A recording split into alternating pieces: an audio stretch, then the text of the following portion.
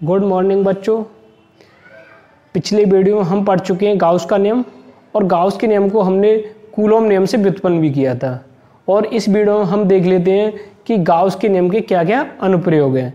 तो हम यहाँ गाउस नियम पढ़ चुके हैं। गाउस नियम क्या है? फाइकल sigma q upon f naught. अरे फाइकल क्या है? Sigma q upon f naught. ये किसके अनुसार है? गाउस नियम के अनुसार। अब एक बात बताओ गाउस साहब ने नियम दे दिया तो इसके कुछ उपयोग तो होंगे? तभी तो ये सार्थक होगा, अन्यथा किसी ने कोई नियम दिया वो सार्थक कब होगा? तब उसका दैनिक जीवन में कोई उपयोग होगा। तो यहाँ भी इसके आप ट्वेल्थ क्लास में छः अनुप्रयोग पढ़ोगे। उपयोग कहो या अनुप्रयोग कहो? तो यहाँ आप गाउस के कितने अनुप्रयोग पढ़ोगे? छः पढ़ोगे। तो मैं छः अनुप्रयोग यहाँ एक बार में लिख देता हूँ, फिर हम स्टेप बाइज हम उनको प्रत्येक को पढ़ लेंगे। तो देखो, जो गाउस साहब के अनुप्रयोग हैं गाउस साहब के क्या हैं? नियम के जो अनुप्रयोग है वो कौन कौन से हैं? गाउस नियम के अनुप्रयोग। अब देखो, यहाँ जो आप अनुप्रयोग ज्ञात करोगे, यहाँ क्या ज्ञात करोगे? Five equal sigma q upon f naught, इसका प्रयोग करते हुए आप यहाँ ज्ञात करोगे ई वेक्टर क्या ज्ञात करोगे? ई वेक्टर इसके छह उदाहरण दिए हुए हैं। उदाहरण का मतलब आपके ट्वेल्थ क्लास में छह अनुप्रयोग दिए हुए हैं। गाउस नियम की सहायता से हम यहाँ छह अनुप्रयोगों में क्या ज्ञात करेंगे? किसी बिंदु पर विद्युत क्षेत्र। क्या ज्ञात करेंगे? ई वेक्टर ज्ञात करेंगे। और किसकी सहायता से? इस फॉर्मूले की सहायता से। प्रत्येक में ज्ञात करेंगे। अलग अलग स्थितियाँ हैं। किसी अनंत रेखीय आवेशित तार के कारण विद्युत क्षेत्र या जो भी मैं छह स्थितियाँ अभी यहाँ लिख रहा हूँ तो उन सभी के कारण हम क्या ज्ञात करेंगे? विद्युत क्षेत्र ज्ञात करेंगे। क्या ज्ञात करेंगे? विद्युत क्षेत्र ई वेक्टर तो हमारा टारगेट क्या है? प्रत्येक डेरिवेशन में यही टारगेट रहेगा कि हमें गाउस के नियम का उपयोग करना है फाइव इक्वल सिग्मा के अपॉन एप्सिलॉन नोट और उसके, इसका उपयोग करते हुए हम ई वेक्टर ज्ञात करना है। प्रत्येक डेरिवेशन में हमारा यही टारगेट रहेगा। तो इस टारगेट का ध्यान रखना। तो हम इसका उपयोग करते हुए हमें कहाँ तक पहुँचना है? ई वेक्टर पर पहुँचना है। वो छः अनुप्रयोग में यहाँ लिखा देता हूँ। कौन कौन से? फिर हम उनको स्टेप बाइज पढ़ेंगे। तो देखो नंबर एक क्या है? नंबर एक, रेखीय, अनंत आवेशित अनंत आवेशित तार के कारण विद्युत क्षेत्र। विद्युत क्षेत्र या कह सकते हो आप विद्युत क्षेत्र की तीव्रता। विद्युत क्षेत्र। अब देखो, मैंने क्या कहा था? गाउस के नियम का अनुप्रयोग करना है और ई वेक्टर ज्ञात करना है। तो रेखीय अनंत आवेशित तार के कारण विद्युत क्षेत्र ई वेक्टर हो गया। अब देखो, नंबर दो क्या है? ये तो रेखीय तार हो गया, उसके कारण हम क्या ज्ञात कर लेंगे? विद्युत क्षेत्र। अब हम कोई परत ले लेते हैं। परत दो प्रकार की हो सकती है, चालक भी हो सकती है और अचालक हो सकती है। अब उस परत को हमने क्या दे दिया? आवेश दे दिया। और वो एक समान आवेश दिया है। संपूर्ण परत को आवेश कैसा दिया है? एक समान आवेश दिया है। तो हम क्या कह सकते हैं? समरूप, आवेशित और परत अनंत लंबाई की है। लंबाई चौड़ाई उसकी क्या है? उसकी दोनों भुजाएँ कैसी हैं? अनंत है। या हम क्या कह सकते हैं कि समरूप, अपरिमित, चालक परत के कारण विद्युत क्षेत्र। नंबर दो क्या हो जाएगा नंबर तीन क्या हो जाएगा? समरूप, आवेशित, अनंत, अचालक परत के कारण विद्युत क्षेत्र। तो दो प्रकार ये हो जाएँगे। तो नंबर दो क्या हो जाएगा? समरूप। समरूप मतलब एक समान से समरूप, आवेशित समरूप, आवेशित, अपरिमित अपरिमित मतलब जिसका क्षेत्रफल अनंत हो समरूप आवेशित आवेश कैसा हो? समरूप हो, एक समान हो, और परत कैसी हो? अपरमित। तो समरूप आवेशित, अपरमित, चालक परत लोगे पहले या अचालक लोगे बताओ? आप यहाँ कर लो अचालक। अचालक परत के कारण विद्युत क्षेत्र विद्युत क्षेत्र, या आप क्या कहोगे विद्युत क्षेत्र की तीव्रता? नंबर तीन क्या हो जाएगा? ऐसी समरूप आवेशित अपरिमित अचालक की जगह क्या हो जाएगा? चालक परत। अचालक की जगह क्या होगा? चालक परत होगी। तो समरूप समरूप आवेशित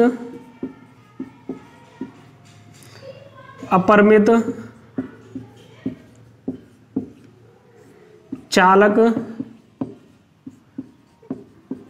परत के कारण विद्युत क्षेत्र या विद्युत क्षेत्र की तीव्रता। विद्युत क्षेत्र। नंबर चार। हम इनको विस्तृत पढ़ेंगे सभी को। मैं यहाँ जो लिखा रहा हूँ, इनको सभी को विस्तृत पढ़ेंगे। सबसे पहले हम पहले वाले को पढ़ लेंगे। रेखीय अनंत आवेश तार के कारण विद्युत क्षेत्र। तो देखो, नंबर चार क्या है? परत भी होगी हमारी। और क्या हो गया? रेखी तार हो गया। अब ले लेते हैं हम गोलीय कोष मैं केवल आपको ट्वेल्थ क्लास में दिए हुए उनको करा रहा हूँ। आप ग्रेजुएशन में तो बहुत पढ़ोगे। ग्रेजुएशन गाउस के बहुत अनुप्रयोग है। तो यहाँ केवल जो आपके ट्वेल्थ क्लास में सिलेबस में दिए हुए उन्हीं को पढ़ेंगे केवल। तो यहाँ नंबर चार क्या हो जाएगा? समरूप आवेशित गोलीय कोष के कारण विद्युत क्षेत्र। समरूप आवेशित मैं समरूप क्यों लगा रहा हूँ? कि जो आवेश होगा, वो एक समान रूप से वितरित होगा। हमने आवेश वितरण पढ़ा है तो उसमें जो आवेश वितरण होगा वो कैसा होगा? एक समान रूप से वितरित होगा। तो समरूप आवेशित गोलीय कोष के कारण विद्युत क्षेत्र। समरूप आवेशित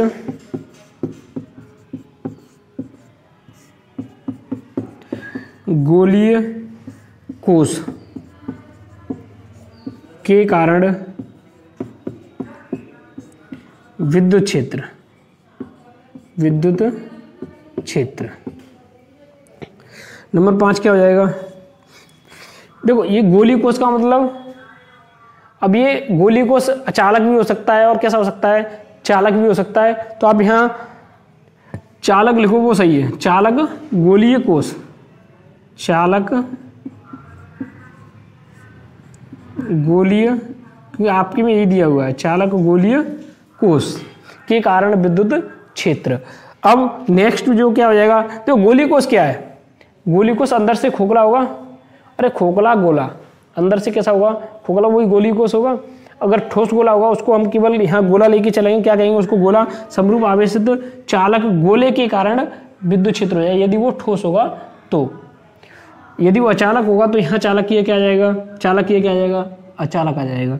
तो यहाँ समरूप आवेशित, समरूप आवेशित गोली कोष है यहाँ क्या हो जाएगा? चालक गोला। चालक गोले के कारण विद्युत क्षेत्र। विद्युत क्षेत्र। नेक्स्ट जो छठवा दिया हुआ है, वो क्या है? समरूप आवेशित। समरूप आवेशित चालक ये क्या कर दो? अचालक कर दो। अचालक। गोले के कारण विद्युत क्षेत्र। विद्युत क्षेत्र। आपके सिलेबस में ये गाउस के छह अनुप्रयोग दिए हुए हैं। आपके सिलेबस में ये गाउस के छह अनुप्रयोग दिए हुए हैं। आप इसका स्क्रीनशॉट ले लो। अब इसमें से हम जो पढ़ने वाले हैं, वो क्या पढ़ेंगे? सबसे पहले पढ़ेंगे रेखीय अनंत आवेशित तार के कारण विद्युत क्षेत्र। तो सबसे पहले हमें क्या पढ़ना है? रेखीय अनंत आवेशित तार के कारण विद्युत क्षेत्र। मैं सभी को मिटा रहा हूँ, केवल हम इसी को रखेंगे। एक बार इसी को, इसको और रिवाइज कर लो। रेखीय अनंत आवेशित तार विस्तृत पड़ी रहे हैं। समरूप आवेशित अपरिमित अचालक परत के कारण विद्युत क्षेत्र हमारे पास एक अचालक परत दी हुई है और कितनी बड़ी है? अपरिमित है। उसकी लंबाई चौड़ाई कैसी है? इनफाइनाइट है, अनंत है, वो परत कितनी बड़ी है? अपरिमित है।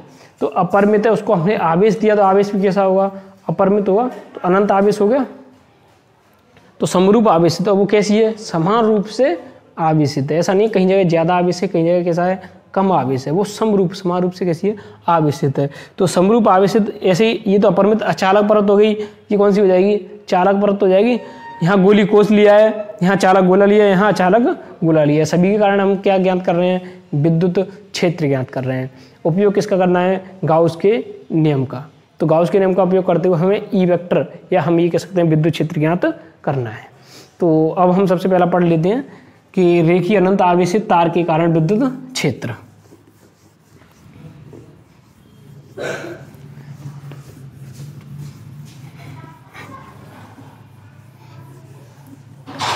देखो, हमारे पास एक अनंत आवेशित तार है। माना कि तार की लंबाई कितनी है? वैसे अनंत आवेशित कब होगा? जब तार की लंबाई भी कैसी होगी? अनंत होगी। होगी कि नहीं होगी? लेकिन हम यहाँ इसको एल मान के चलेंगे। टोटल लंबाई क्या मानेंगे एल यहाँ एल का मान क्या होगा? इनफाइनाइट होगा। अनंत होगा। क्या होगा? वैसे अनंत आप ही में ये शब्द ऐसा लग रहा होगा कि सर अनंत को तो फिक्स कर रहे हैं कि अनंत होगा। अनंत फिक्स नहीं होता है। जैसे कहते हैं कि प्राकृतिक संख्या क्या है? जो एक से अनंत तक होती हैं, धनात्मक अनंत तक होती हैं प्राकृतिक संख्याएँ या जो ऐसे एग्ज़ाम्पल देते हैं, पूर्णांक संख्या क्या है? जो धनात्मक भाग में अनंत की ओर जाती हैं, जी, एक से लेकर के अनंत की ओर जाती हैं, ऋणात्मक भाग में एक से लेकर के अनंत की ओर जाती हैं। और इसमें शून्य भी शामिल होता है, वो पूर्णांक संख्या है। तो अनंत तक यहाँ तक अनंत फिक्स हो गया कि नहीं हो गया? तो जबकि अनंत आपने एक फिक्स राशि बना दी तो जबकि अनंत फिक्स अरे अनंत तो क्या है? अनंत अनंत है। तो कुल मिला के ये कहना चाहिए कि संख्या अनंत की ओर जाती है क्योंकि अनंत तक, अनंत फिक्स नहीं। लेकिन फिर भी यहाँ हम यही लेके चलेंगे कि हम तार कैसा ले रहे हैं? अनंत आवेशित है और कैसा है? समरूप आवेशित तार भी कैसा होगा? समरूप आवेशित होगा। हम उस तार की लंबाई कितनी लेंगे यहाँ? एल लेंगे। तो हमारे पास एक तार है।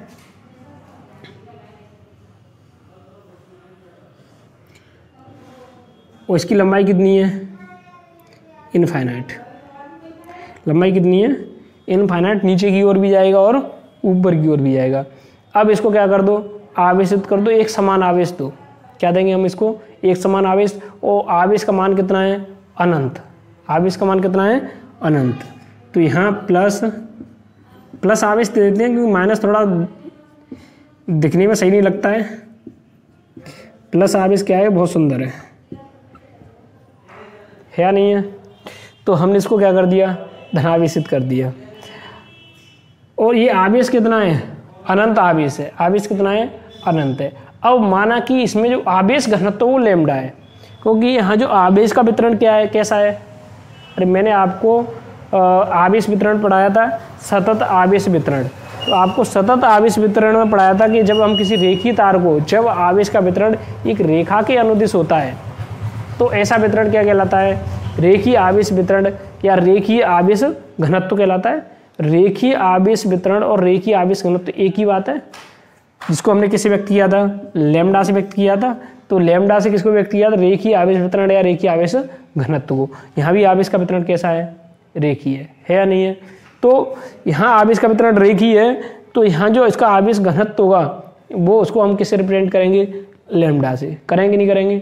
तो यहाँ इस रेखी जो आवेश है, वो अनंत आवेश है। रेखी अनंत आवेश का आवेश घनत्व माना कि लेमडा है। माना हमारे पास ए भी एक तार है, ए भी एक क्या है? तार है, जिस पर, जिसका आवेश घनत्व तो लेमडा है। अब आवेश घनत्व तो लेमडा है, तब तो उसमें कुल आवेश कितना होगा? कुल आवेश कितना होगा? तो कुल आवेश को हम किसे व्यक्त करेंगे? सिग्मा क्यू से व्यक्त करेंगे। तो यहाँ जहाँ सिग्मा क्यू क्या हो जाएगा? Sigma q equal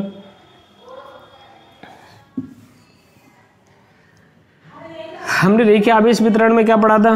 Lambda equal q upon L पढ़ा था कि नहीं पढ़ा था? हमने ये तो पढ़ा था रेखीय आवेश वितरण में क्यू अपॉन एल एकांक लंबाई पर उपस्थित आवेश की मात्रा क्या कहलाती है? रेखीय आवेश वितरण कहलाती है।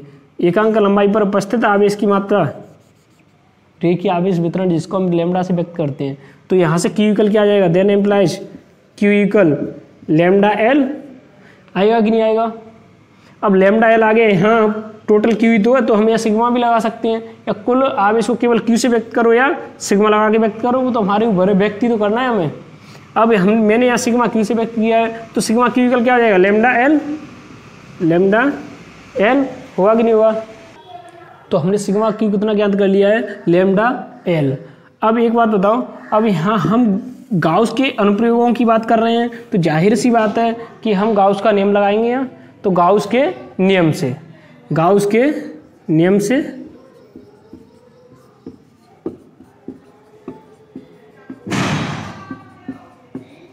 फाइव क्या होता है? अरे surface close integral E vector dot D S vector. ये तो होता है यूकल क्या है? क्योंकि हम यहाँ गाउस का नियम लगा रहे हैं तो क्या होगा? Summation q upon sigma q upon epsilon naught. होगा कि नहीं होगा तो यहाँ से क्या आ गया? Surface close integral E vector dot D S vector sigma q की क्या है? Lambda L. सिग्मा क्यू की क्या है? Lambda L upon epsilon naught. यहाँ तक बात समझ में आ रही होगी? हमने कुछ भी नहीं किया है। बस सिग्मा क्यू की वैल्यू यहाँ से उठा करके यहाँ रख दी है। आपको ये नेम पता ही है, फाइव कल क्या होता है? Sigma q upon epsilon naught. होता है कि नहीं होता है? अब यहाँ गाउस का हमने नियम लगाया है। तो गाउस साहब ने काम किया था, किसी कोई भी आवेश स्रोत है, यदि उससे निर्गत फ्लक्स या प्रवेशित फ्लक्स ज्ञात करना हो तो एक काल्पनिक बंद पृष्ठ की कल्पना करनी होती है। करनी होती है कि नहीं? एक ऐसे पृष्ठ की कल्पना करनी होती है, जो उस आवेश स्रोत को पूरी तरह बाउंडेड कर ले, पूरी तरह घेर ले। तो अब यहाँ भी ज़ाहिर सी बात है कि हमें यहाँ भी एक ऐसे काल्पनिक पृष्ठ की कल्पना करनी होगी, जो इस अनंत आवेशित रेखीय तार को क्या कर ले? बाउंडेड कर ले, घेर ले प्रबद्ध कर ले। ज़रूरत होगी कि नहीं? तो आप सोचो कि ऐसा कौन सा पृष्ठ है जो इस रेखीय आवेशित तार को प्रबद्ध कर सके। बताओ जल्दी सोचो। लेकिन अनंत आवेशित इस चीज़ का ध्यान रखना तो हमें उसको भी अनंत मानना पड़ेगा। तो बताओ, सोचो जल्दी फटाफट। थोड़ा लोड लिया करो दिमाग पे। तो हम यहाँ अगर एक बेलन मान लें, क्या मान लें? बेलन। क्योंकि गाउस साहब का नियम तभी लगेगा। गाउस का नियम कब लगेगा? उन्होंने क्या कहा था? किसी काल्पनिक बंद पृष्ठ से। किसी काल्पनिक बंद पृष्ठ से संबद्ध फ्लक्स। संबद्ध का मतलब निर्गत या प्रवेशित फ्लक्स। तो किसी काल्पनिक बंद पृष्ठ से संबद्ध फ्लक्स उस पृष्ठ में उपस्थित कुल आवेश तथा निर्वात की विद्युशीलता के अनुपात के बराबर होता है। ये तो कहा था, अर्थात क्या कहा था? Sigma q upon epsilon naught. Five कल sigma q upon epsilon naught. तो काल्पनिक बंद पृष्ठ कहा था, इसका मतलब हमें काल्पनिक बंद पृष्ठ यहाँ मानना पड़ेगा। वो क्या है? यहाँ हम एक बेलन मानेंगे। क्या मानेंगे? बेलन। अब देखो, बेलन इसको प्रबद्ध कर लेगा। क्या मान लो यहाँ? स्मॉल आर त्रिज्या क्या मान लो एक? बेलन मान लो। इसने इसको प्रबद्ध कर लिया कि नहीं? बेलन ने इसको क्या कर लिया? बाउंडेड कर लिया प्रबद्ध कर लिया। लेकिन ये बेलन मैंने कितना मा, कैसा माना है? सीमित माना है लिमिटेड लेकिन इसको अनंत कब होगा ये? इसकी किनारियों को भी काट दो इसे। इसको भी हम डैश डैश हम ये कह सकते हैं विच्छिन्न लाइन से व्यक्त करना पड़ेगा। तभी तो इसको ऐसा पता चलेगा कि ये बेलन कहाँ की ओर जा रहा है? अनंत की ओर। बेलन कहाँ की ओर जा रहा है? अनंत की ओर। विच्छिन्न लाइन बना दो इसको।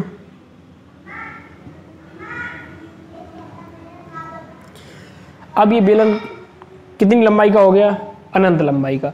अब एक बात बताओ, ये बेलन इसको बाउंडेड करेगा? डेफिनेटली इसको क्या करेगा? बाउंडेड करेगा।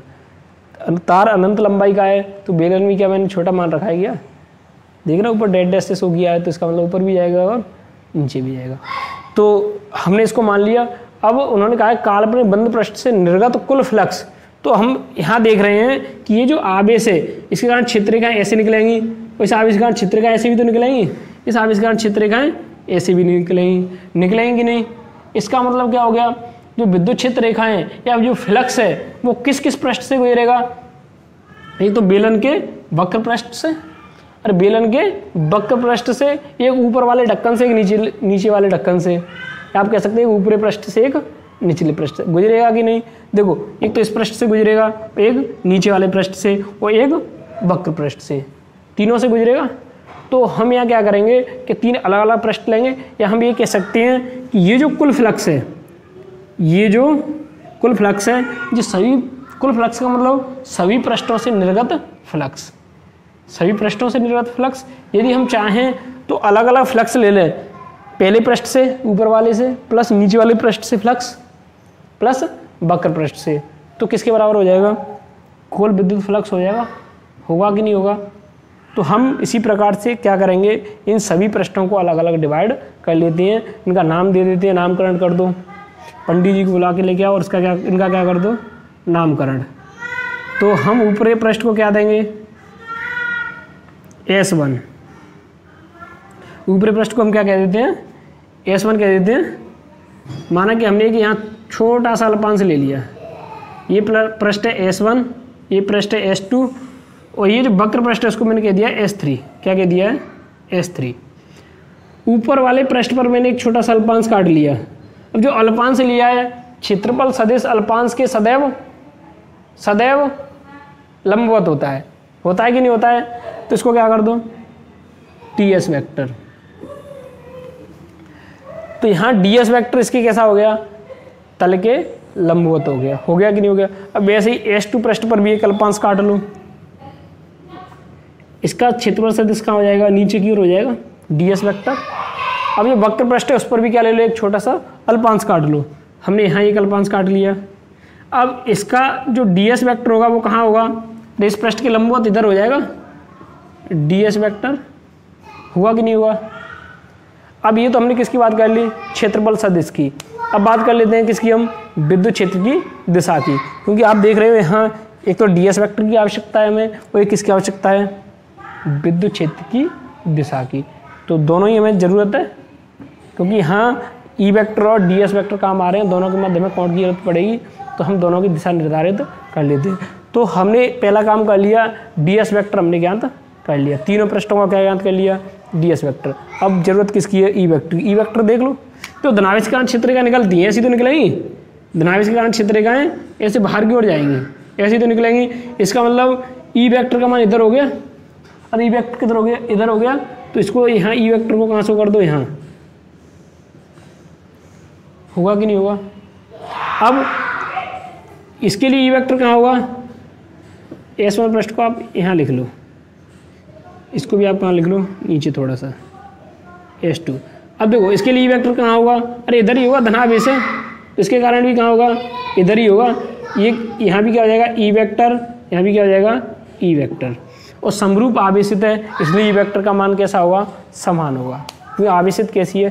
समरूप आवेशित है, दूरी भी समान है। क्योंकि ये एक समान त्रिज्या का बेलन है। ऊपर से नीचे तक इसकी त्रिज्या एक समान है। तो ये जो विद्युत क्षेत्र को कैसा होगा समान होगा तो यहाँ भी ई वेक्टर यहाँ भी ई वेक्टर यहाँ भी ई वेक्टर हो गया। तो डायग्राम समझ में आ गया कि नहीं?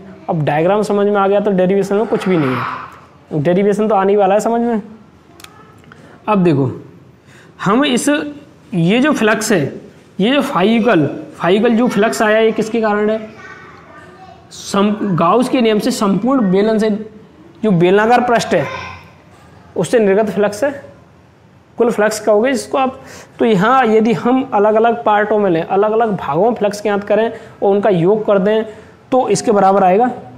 आएगा कि नहीं आएगा? अलग अलग भागों का मतलब ये है कि एस वन पृष्ठ से निर्गत फ्लक्स प्लस एस टू पृष्ठ से निर्गत फ्लक्स प्लस एस थ्री पृष्ठ कौन सा है? वक्र पृष्ठ। एस थ्री पृष्ठ से निर्गत फ्लक्स। तीनों को हम क्या कर देंगे? जोड़ देंगे, जो किसके बराबर आएगा? इसके बराबर आएगा। आना चाहिए कि नहीं आना चाहिए? तो मैं यहाँ थ्योरी न लिख करके थ्योरी आपको नोट्सों में मिल ही रही है। आप व्हाट्सएप ग्रुप से जो बच्चे जुड़े हैं, उनको कंप्लीट थ्योरी मिल रही है, उसमें डेरिवेशन मिल ही रहा है। यहाँ मैं आपको प्रॉपर रूप से समझा रहा हूँ। तो आपका प्रत्येक कंसेप्ट क्लियर हो रहा है। अब यहाँ देखो, प्रत्येक पार्ट को अलग अलग हम क्या कर लेते हैं? जोड़ लेते हैं। तो जोड़ेंगे तो कैसे करेंगे? इंटीग्रेशन एस वन पृष्ठ। हम सबसे पहले पृष्ठ को ले लेते हैं एस वन तो इंटीग्रेट एस वन पृष्ठ के लिए E vector dot D S vector plus ये क्या है? एस वन पृष्ठ से निर्गत फ्लक्स ये क्या है? एस वन पृष्ठ से निर्गत फ्लक्स अब ऐसे ही एस टू पृष्ठ से S two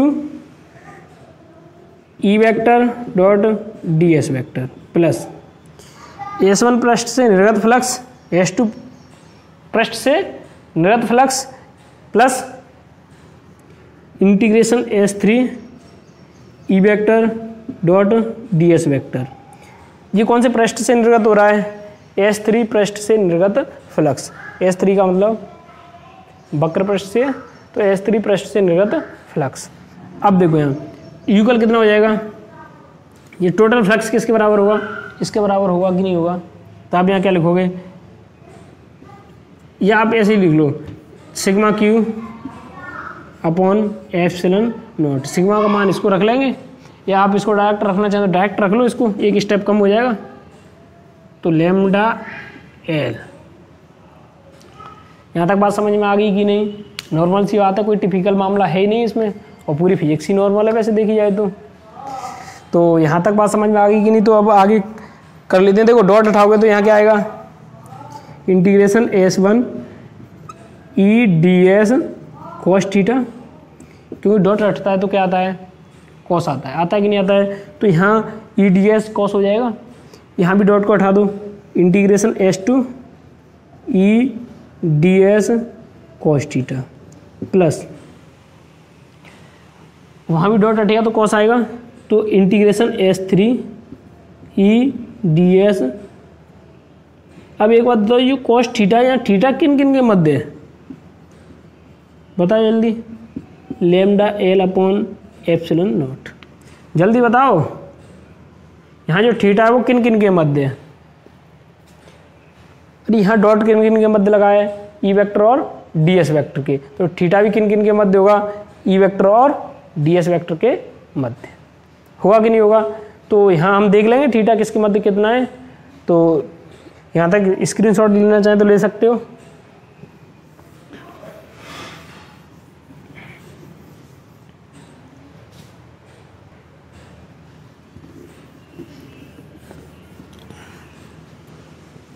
अब देखो, यहाँ थीटा का मान रखना है हमें तो integration S one E D S अब देखो एस वन पृष्ठ के लिए थीटा कितना है? एस वन पृष्ठ के लिए एस वन पृष्ठ ही हो गया। ई e वेक्टर और डी एस वैक्टर के मध्य कोण कितना है देखो? 90 डिग्री है या नहीं है? कितना है? 90 डिग्री तो कॉस थीटा का मान कितना रखेंगे? 90 तो cos 90 degree plus integration S two E D S cos कितना रखेंगे? एस टू के लिए भी ई e व एस के मध्य थीटा कितना है? 90 डिग्री है या नहीं है? तो यहाँ भी कितना हो जाएगा? Cos 90 degree plus integration S three E D S cos अब देखो, यहाँ थीटा का मान कितना होगा एस थ्री पृष्ठ के लिए। डी एस वैक्टर और E vector D S vector और ई वेक्टर दोनों के मध्य कोण कितना है? अरे दोनों एक दूसरे के ऊपर अध्यारोपित हो रहे हैं। ज़ीरो डिग्री होगा। होगा कि नहीं होगा? तो यहाँ ई वेक्टर और डी एस वैक्टर के मध्य थीटा ज़ीरो होगा। तो यहाँ क्या रख दो आप? Zero degree equal lambda L sorry हाँ lambda L upon F naught lambda L upon F naught अब इसको सॉल्व कर दो। तो सॉल्व करेंगे तो यहाँ कितना हो जाएगा? कॉस 90 का मान कितना होता है? ज़ीरो होगा। यहाँ भी कॉस नाइन्टी का मान ज़ीरो इट मीन्स ये फैक्टर और ये वाला फैक्टर ज़ीरो होंगे कि नहीं होंगे? तो आप इनको क्या लिख दो? ज़ीरो लिख दो। तो ज़ीरो प्लस ज़ीरो ये दोनों क्या हो गए?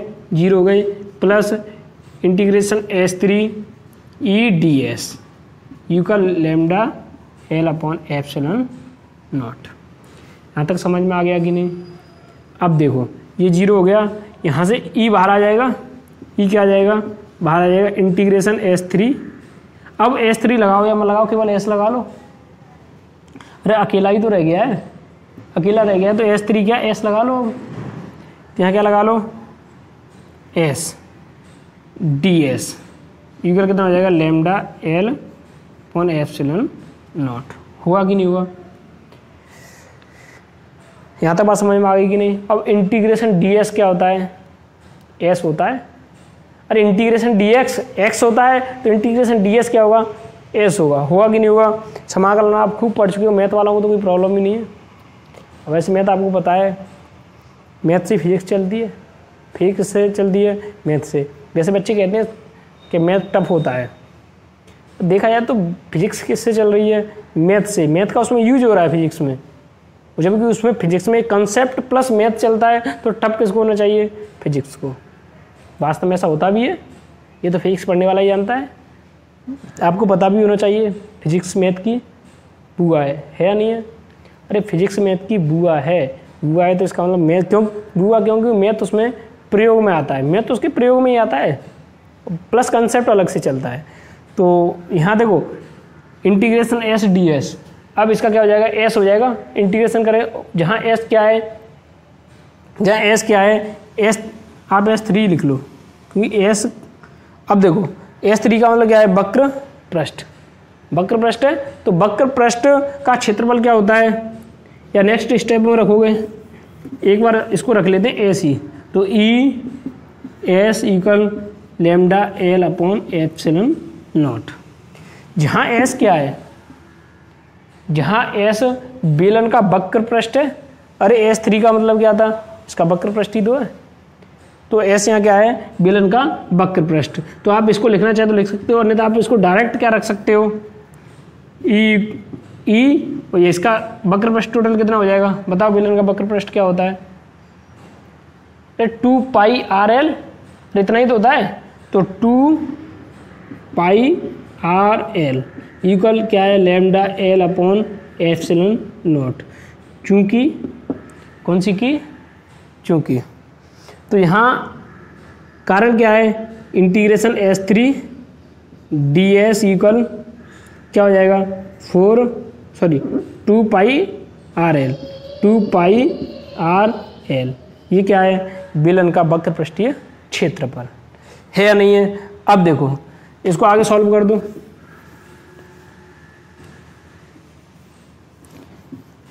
जिन बच्चों की समझ में कोई डेरिवेशन नहीं आए तो आप वीडियो को दो बार देखें। दो बार में ईजिली समझ में आ जाएगा। वैसे जहाँ तक है, उम्मीद करता हूँ आपको पहली बार में ही समझ में आना चाहिए। अब यहाँ एक बात बताओ कि एल से क्या गया? एल गया? एल से क्या कट गया? एल जो बचा कुचा है उसको सबको लिख दो। तो ई कल कितना हो जाएगा? Pi R two pi R ये तो होगा equal lambda upon epsilon naught यहाँ से ई कल क्या आ जाएगा? इसको सभी को नीचे भेज दो। तो lambda upon two pi R epsilon naught ये हमारे पास क्या आ गया? विद्युत क्षेत्र। हमें ज्ञात क्या करना था? विद्युत क्षेत्र। आ गया, हम अपनी मंजिल पर पहुँच गए। तो अब एक बात बताओ, ये तो अदिश रूप में आया है वैसे देखा जाए तो। अब विद्युत क्षेत्र कैसी राशि है? एक सदिश राशि है तो सदिश में भी व्यक्त कर दो। अरे आपके हाथ की बात है। तो ई वैक्ट्रिकल क्या हो जाएगा? आपकी कलम, आप सन उन्नीस सौ सैंतालीस से क्या हो? स्वतंत्र हो या नहीं हो?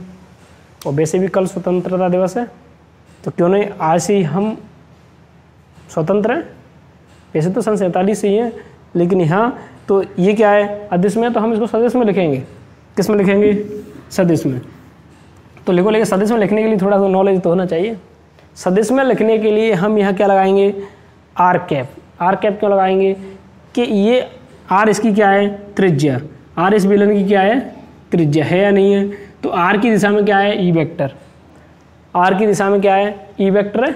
अब उधर ई वेक्टर इसका मतलब हम क्या लगा देंगे यहाँ? आर कैप तो lambda upon two pi R epsilon naught R cap त्रिज्या त्रिज्यवत जो विद्युत क्षेत्र है, वो उसकी दिशा क्या होगी?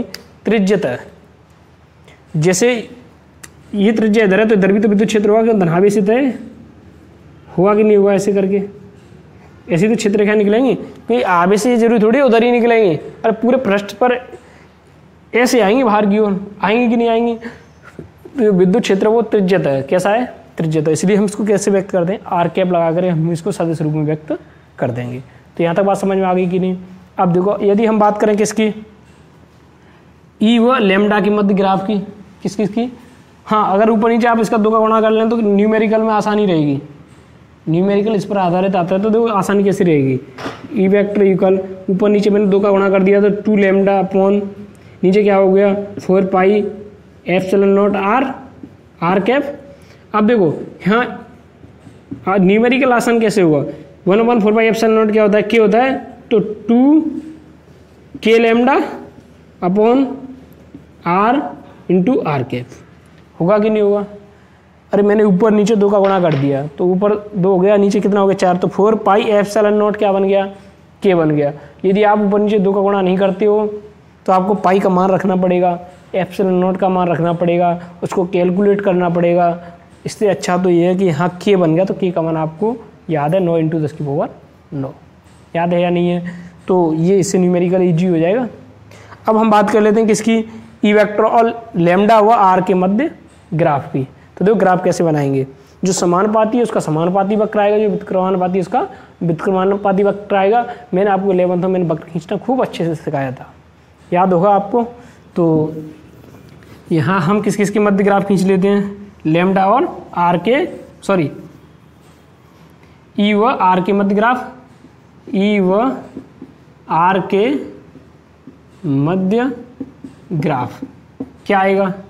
व्युत्क्रमानुपाती है तो क्या हो जाएगा यहाँ? ऐसे आ जाएगा। ये यहाँ क्या ले लो? ई e वेक्टर यहाँ क्या ले लो? आर अरे एक दूसरे कैसे व्युत्क्रमानुपाती तो व्युत्क्रमानुपाती वक्त ये तो आता है। अब बात आती किसकी? लेमडा की। लेमडा के लेमडा तथा ई e के मध्य यदि वक्र खींचे तो कैसा? देखो ई e समानुपाती लेमडा है नहीं है? समानुपाती वक्र खींच दो यहाँ। यदि बात करें हम किसकी? ई व लेमडा के मध्य ग्राफ क्या आएगा? समानुपाती आएगा। आएगा कि नहीं आएगा? यहाँ ई वेक्टर है और यहाँ क्या आ जाएगा?